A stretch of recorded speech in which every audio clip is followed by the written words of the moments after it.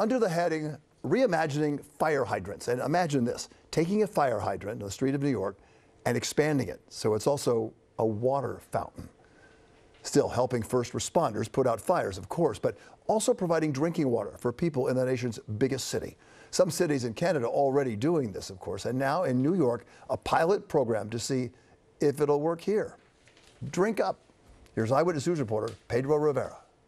They've been seen in Canadian cities like Toronto, Montreal, and Edmonton, and could soon pop up in New York City. We have a great need to for access to clean drinking water in public spaces. So City Council member Erik Bottcher introduced legislation Thursday that'll convert some fire hydrants into free dual-purpose water refill stations. in a city where we have some of the best drinking water in the planet, it comes in comes right from the Catskill Mountains.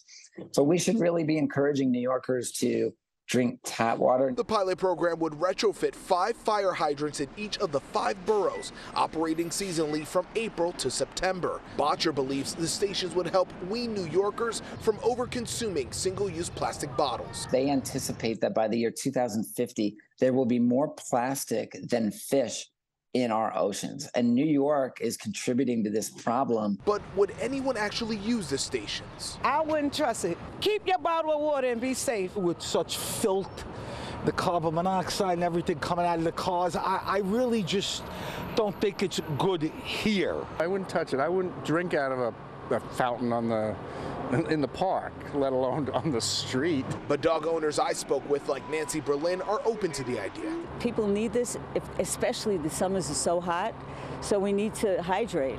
And Rafaela agrees. This will be really good, right, Rafi? Yes. Now, we don't know exactly how much this will cost, but the FDNY tells us they do plan on working with Bottcher and the Department of Environmental Protection on this project moving forward. If the legislation is approved, we could see this pilot program go into effect by the end of the year.